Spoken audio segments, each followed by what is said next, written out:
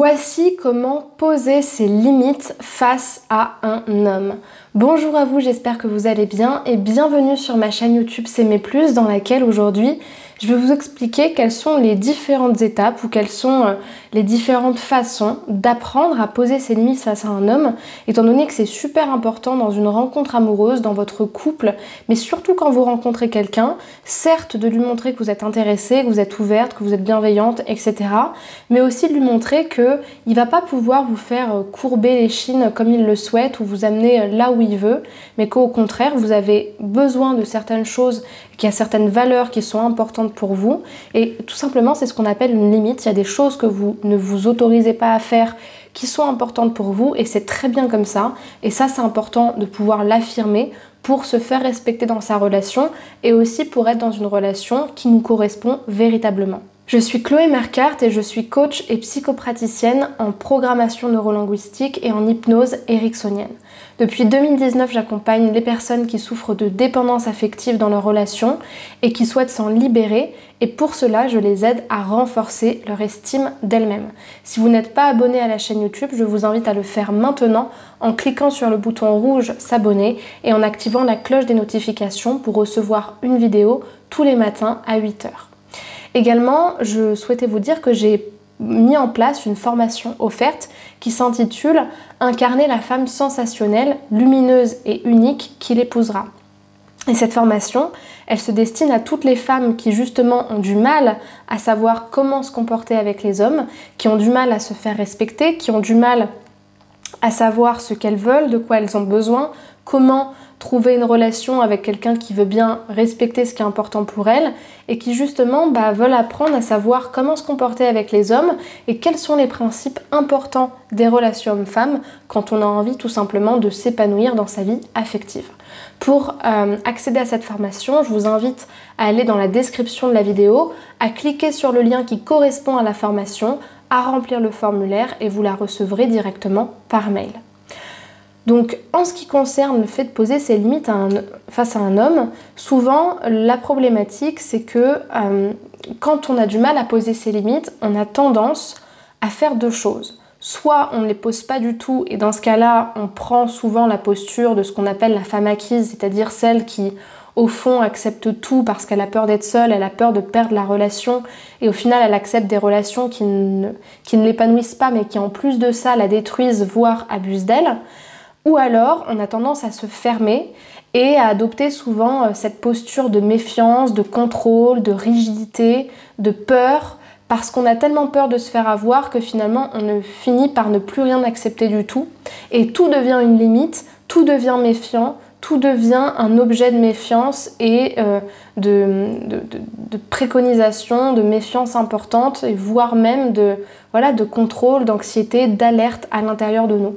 Et souvent, ce qui pose problème, c'est souvent les femmes qui, parce qu'elles ne savent pas quelle limite est vraiment important pour elles pour les sécuriser dans leur relation, finissent par tout faire euh, pour que tout soit une limite et finissent par être un petit peu, moi c'est un petit peu comme ça que je les compare, je les compare un peu à des chihuahuas qui euh, ont tellement peur qu'on les écrase ou qu'on vienne attaquer leur maison, qui finissent par euh, justement euh, gueuler à tout va, alors que finalement il n'y a rien qui se passe, il n'y a aucune alerte, il n'y a aucune alarme, et que c'est pas forcément ça qui va vous permettre de vous faire respecter.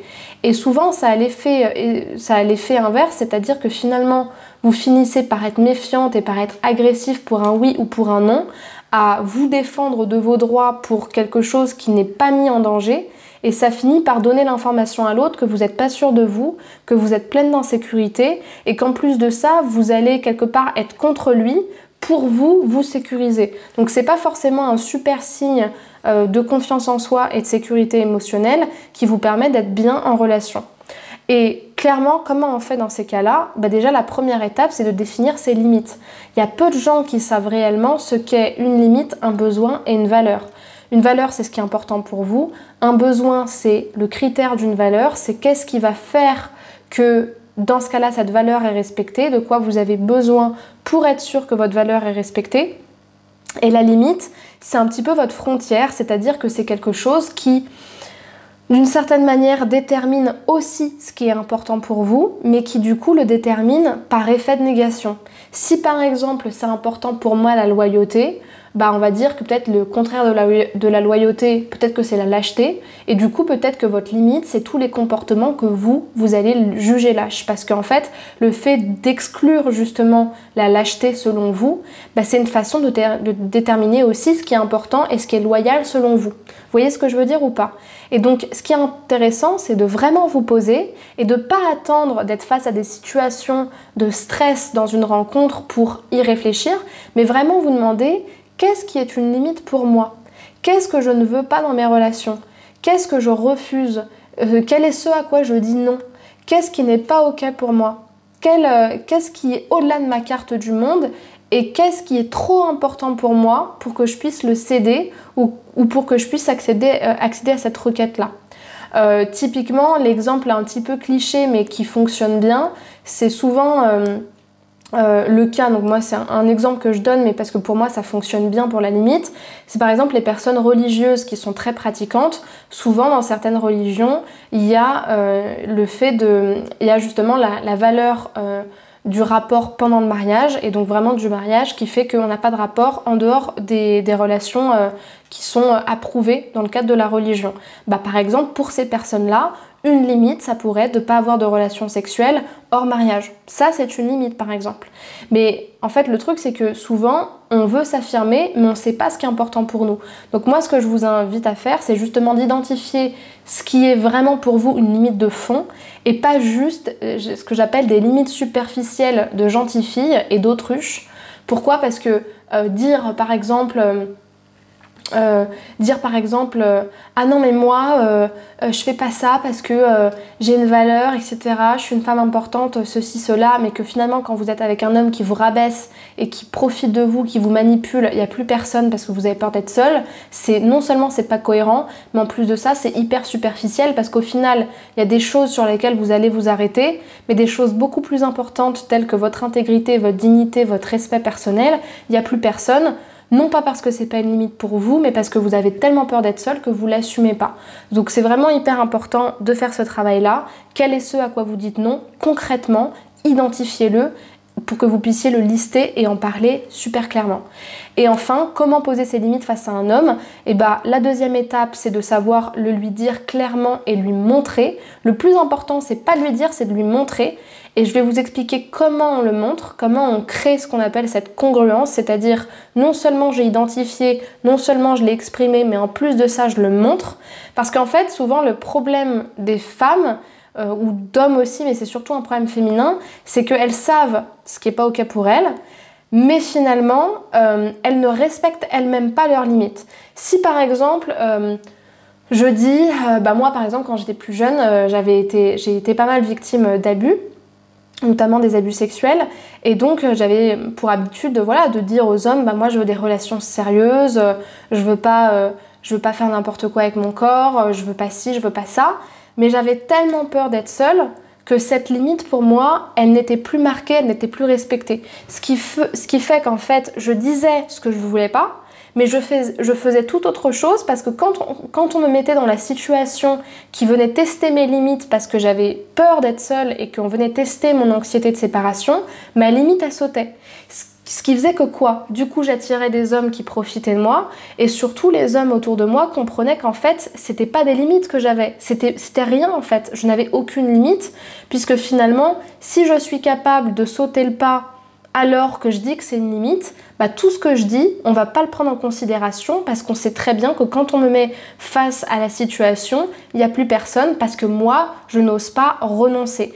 Et là où vous avez la réelle capacité de montrer votre limite, c'est justement cette capacité de renoncer, de montrer que c'est quelque chose de non négociable et que vous n'allez pas collaborer, même si on vous donne un milliard de dollars, parce que pour vous, c'est une limite. En fait, pour une limite, vous devez être prête à vous prendre des balles.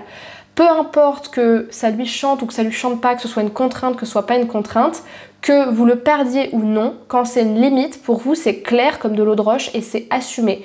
Et c'est tellement assumé, et écoutez bien ce que je vais vous dire, c'est tellement assumé que c'est léger et doux la manière dont vous le dites.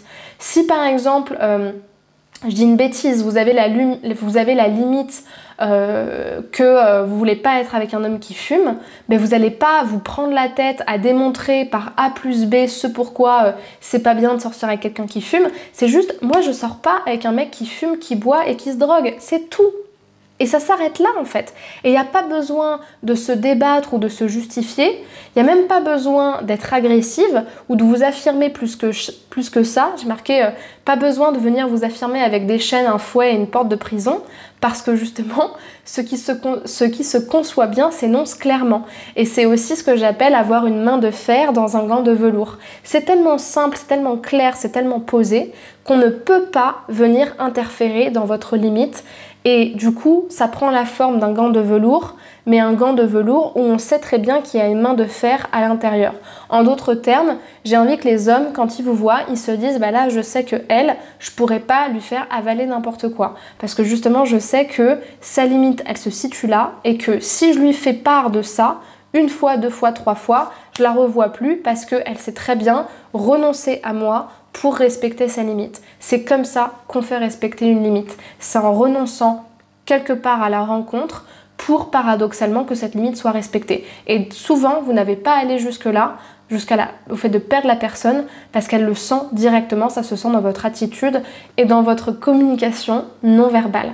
Voilà pour cette vidéo. Si vous avez des questions et que vous souhaitez m'encourager, laissez-moi un pouce vers le haut et écrivez-moi un commentaire pour que je puisse vous lire et vous répondre. Et pour mes gentilles filles, mes petites autruches qui justement ont trop l'habitude d'être manipulées, d'être déçues par les hommes et d'être acquises parce que justement c'est compliqué pour elles de dire non, de renoncer et de se faire vraiment respecter, le coaching est vraiment excellent pour ça parce que l'idée c'est vraiment de vous mettre en action, de venir vous challenger, de venir renforcer votre confiance en vous et dans, votre relation, euh, dans vos relations amoureuses. Donc si vous souhaitez prendre contact avec moi pour un coaching ou pour ma formation pour vous libérer de la dépendance affective qui dure entre 3 et 6 mois, je vous invite à aller dans la description de la vidéo, à cliquer sur le lien qui correspond à cette formation, à choisir votre créneau, à remplir le formulaire et je vous appellerai au créneau choisi.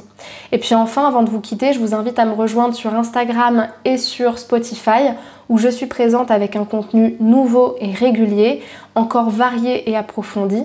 Donc c'est s'aimer plus à chaque fois et vous avez le lien de mes réseaux sociaux dans la description de cette vidéo. Je vous remercie pour votre attention et je vous dis à très bientôt, à demain 8h pour une prochaine vidéo. Au revoir.